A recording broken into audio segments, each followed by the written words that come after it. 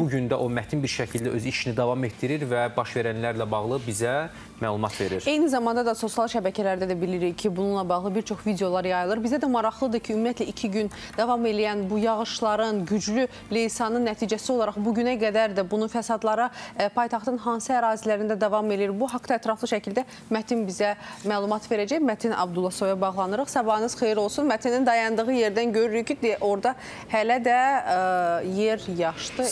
Sabunçu Dəmir Yolu vağzalından salamlayır Səfət Mirəsə. Buyurun Mətin, söz sizdədir. Eşidirik sizi Mətin.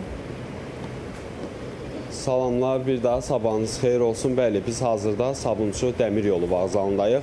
Dünən e, yağan güclü yağışlar nəticəsində şəhərin bir çox yerlərində e, belə deyək, e, güclü e, fəsadlara səbəb olmuşdu bu yağışlar. Elə bunlardan biri də Sabunçu Dəmir Yolu vağzalıdır. Operatorumdan xahiş eləyəcəm buradakı vəziyyəti sizə göstərsin. Yağışdan sonra hər tərəf palçıq içindədir. İnsanların bayaqdan müşahidə eləyirik. Gediş-gəlişi burada olduqca çətindir. E, Maşınların hərəkəti olduqca çətindir. Biz canlı bağlantıdan öncə e, buradakı sakinlərlə e, bir balaca e, söhbətləşdik. Söhbət əsnasında öyrəndik ki, bəzi sosial şəbəkədə yayılan videolar var, hansı ki insanların evlərini su basıb.